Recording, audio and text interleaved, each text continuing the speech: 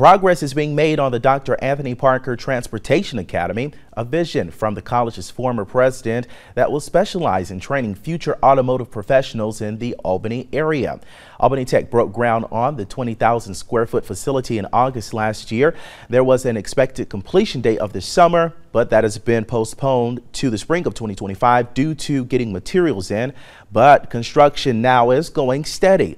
This new facility will not only help produce the next generation of skilled technicians, but also push our local economy forward.